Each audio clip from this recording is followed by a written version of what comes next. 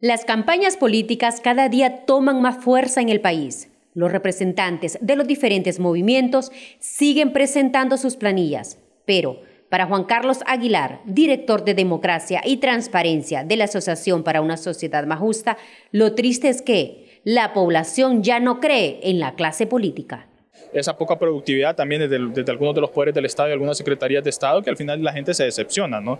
pero la erogación del gasto sigue siendo grande, en temas de beneficios para algunos, eh, para algunos políticos, para algunos miembros que fueron electos por, por, esa, por esa vía de la elección popular y que de una u otra forma la ciudadanía pues resiente ya eso, ¿no? Y ese, y ese recelo también puede pasar factura el día de las elecciones.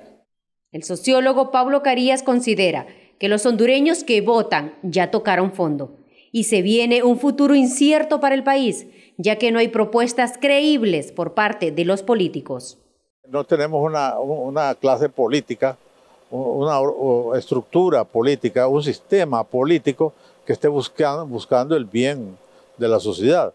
En tanto, el analista político Saúl Bueso se refirió a que los años pasan y lamentablemente el pueblo sigue creyendo en la promesa de los políticos y esto ha pasado factura porque también el pueblo hondureño no tiene esa cultura, porque ese es lo que la, sociedad hondureña, con todo respeto y dolor, es analfabeta político, de tal manera que cualquier persona se para frente a ellos, les hace una promesa que les va a bajar el cielo y las estrellas y lo creen.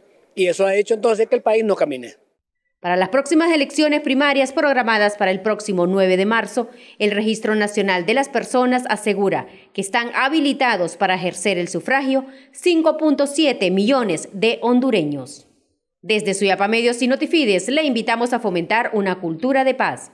Con imágenes de Cristian Herrera, les informó Janet Lagos.